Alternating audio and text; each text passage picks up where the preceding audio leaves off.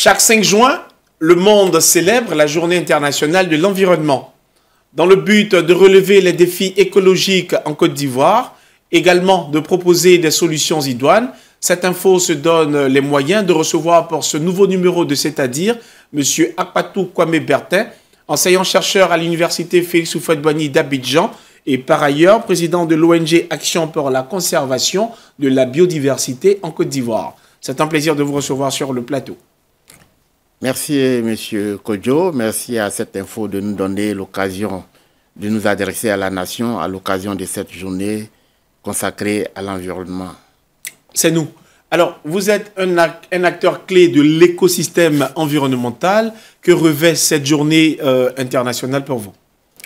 Alors, euh, cette journée qui est commémorée est une journée importante pour nous elle est importante parce que euh, quand on parle de commémoration, on parle de fêter. En effet. Et on ne fête que ce qui nous honore.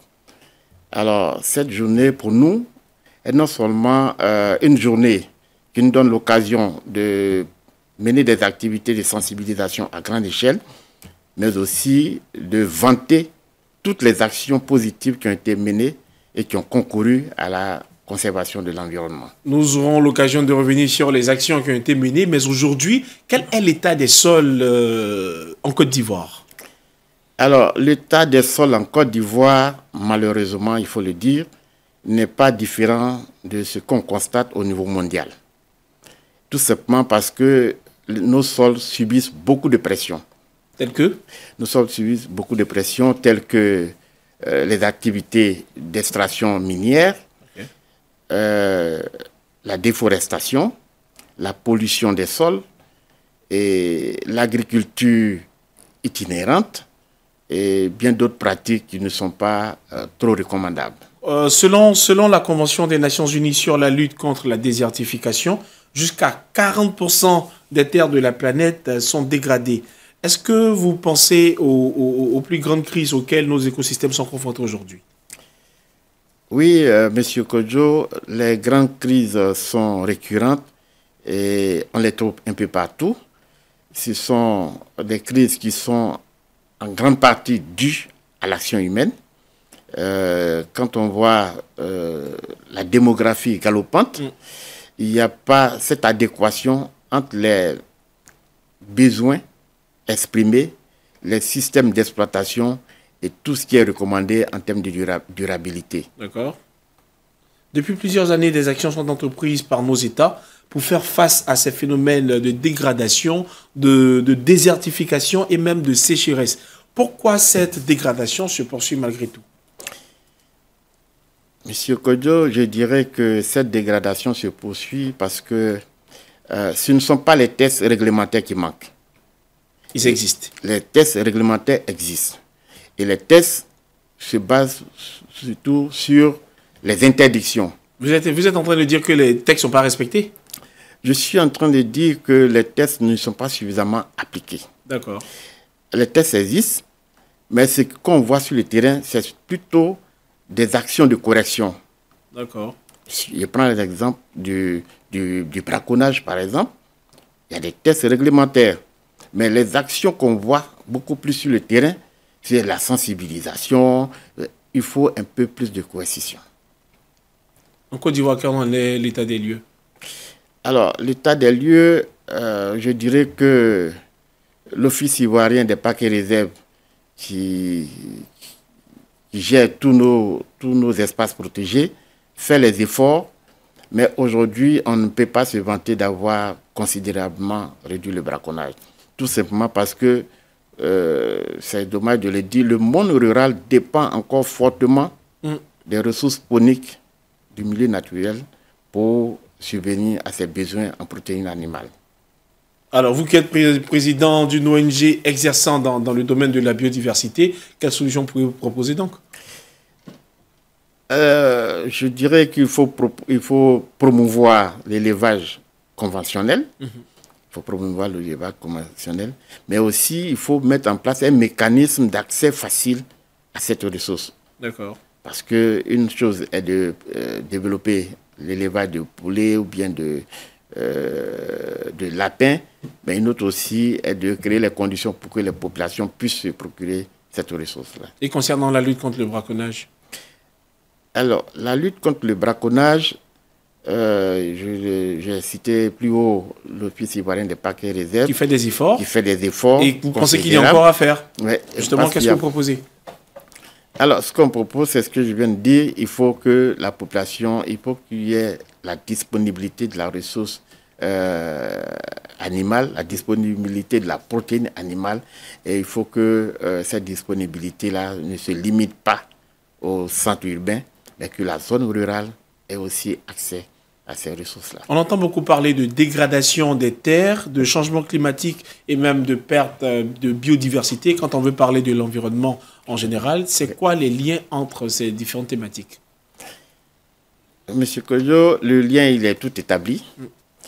Euh, parce que la biodiversité euh, prend en compte la diversité des espèces, la diversité des écosystèmes et la diversité des gènes. Et tout cela, il y a un support qui est l'écosystème, qui est composé de biotopes, et puis de biocénose, le biotope, qui prend en compte tout ce qui est élément vivant, et puis euh, la biocénose qui prend en compte le support et ces éléments vivants. Alors, je, dirais, je disais que le lien est tout établi parce que la biodiversité, on la trouve dans les milieux aquatiques, on la trouve sur les terres émergées et dans les airs. Mhm. Et donc, quand ces écosystèmes-là sont perturbés, bien évidemment, l'écosystème, il est perturbé. Quand on prend le sol, lorsqu'il est perturbé, la végétation est perturbée et le sol perd sa capacité de captation du carbone et donc de rétention de tout ce qui est élément qui va concourir à, à, la pollution, sinon à la dégradation de la couche d'ozone. Donc, euh, lorsque la couche d'ozone est dégradée, cela va conduire à des perturbations climatiques et on parlera de changement climatique. Et le changement climatique va agir. Donc, on, rentre dans un cercle vicieux. D'accord. Et ces phénomènes-là n'existent pas sans conséquences sur, sur, les, sur les humains quels en sont les impacts socio-économiques sur la communauté? Alors, les impacts sont nombreux. Ce n'est pas seulement, on entend souvent dire que c'est les pays en voie de développement qui sont plus exposés, c'est, mais les impacts se retrouvent au niveau mondial. En effet. Les impacts se retrouvent au niveau mondial. On le ressent beaucoup plus ici, euh, dans les pays en voie de développement, tout simplement parce que nous sommes encore fortement liés aux ressources naturelles. OK. Et donc, vu que l'impact de ce phénomène est sur les ressources naturelles, nous qui en dépendons, nous sommes beaucoup plus liés. Cela entraîne la migration des populations, mm. parce que lorsque la ressource euh, se raréfie, on a tendance à aller là où on peut en, trouver. Et lorsqu'on se déplace, qu'on va en compétition sur les ressources avec d'autres peuples, il y a des conflits qui naissent conflits liés à l'utilisation, l'accès à l'utilisation des ressources naturelles. Mm. Donc vous voyez tous ces phénomènes-là euh, qu'on vit du fait de la dégradation des sols. Monsieur Patou, en tant que président de l'ONG Action pour la conservation de la biodiversité, quelles sont jusque-là les actions que vous avez pu mener pour lutter contre l'ensemble de ces phénomènes? Alors, euh, comme le nom de notre organisation le dit, Action pour la conservation de la biodiversité en Côte d'Ivoire. Donc, nous travaillons sur toute l'étendue de la Côte d'Ivoire, mais nous avons des sites euh, de prédilection, j'ai envie de dire, mm. et sites où nous sommes beaucoup plus présents depuis plus d'une quinzaine d'années euh, à l'est de la Côte d'Ivoire, où nous accompagnons les populations à être plus résilientes vis-à-vis des dégradations de l'environnement. Et donc, nous développons, nous développons euh, l'économie verte, euh, les chaînes de valeur vertes. Mm. Nous les accompagnons à être plus outillés dans la préservation de leur environnement. Et nous les organisons également à mettre en place des, des structures endogènes qui permettent de euh, mieux poursuivre toutes les actions de conservation que nous faisons, puisque nous ne sommes pas tout le temps sur le site, on met en place des organisations qui sont euh, formées, qui sont instruites sur euh, le leadership et ça permet à ces personnes-là de poursuivre nos actions de conservation. Alors, la, chose est urgente. Protéger l'environnement doit être un devoir de tous. Nous sommes à la fin de l'émission. Je vous permet de vous adresser à l'ensemble des citoyens ivoiriens, à toutes ces personnes qui vivent en Côte d'Ivoire, pour leur donner des recommandations quant à la protection de l'environnement. Merci, M. Kodjo. Je pense qu'en pareille circonstance, on ne parle pas beaucoup, on va tout droit au but. Allez-y. Notre environnement, c'est ce qui nous fait. Mm. Et nous devons tous nous mobiliser pour avoir un environnement dans lequel nous menons nos activités de façon conviviale. Qu'est-ce qu'il faut faire concrètement? Concrètement, il faut arrêter toutes les pratiques qui dégradent l'environnement. En exemple? Alors, il faut développer une agriculture responsable. Il faut promouvoir euh, euh, la sédentarisation euh, de l'agriculture, diversifier les activités et puis éviter de surexploiter certaines ressources. Monsieur Akpatou Kwame Bertin, enseignant-chercheur à l'université Philosophe Boigny, vous êtes également président de l'ONG Action pour la conservation de la biodiversité en Côte d'Ivoire. Je tiens à vous dire merci d'avoir répondu à nos questions. Je vous dis également merci au nom de notre organisation et nous espérons avoir d'autres occasions où nous viendrons parler d'autres sujets aussi intéressants que celui que nous avons abordé aujourd'hui. Et on sera tout ouvert. Mesdames et messieurs, cette émission est terminée. Merci de nous avoir suivis.